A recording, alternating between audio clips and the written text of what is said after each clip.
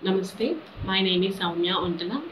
My company name is SNF Samskruthi Natural Foods. Uh, it's a partnership firm.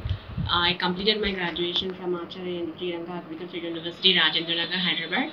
Um, my company is into production of wood pressed uh, edible vegetable oils. Our aim is to provide people with um, unadulterated and pure veg- uh, vegetable oils at an affordable prices um, I completed RKVY RAFTAAR program uh, during 2020-21. Um, the uh, technology we use is completely ancient, uh, that is ancient uh, Lakdi uh, which is uh, driven by an electric motor of uh, 3 HP power. I, thank uh, RK Manage for giving me this wonderful opportunity. Thank you.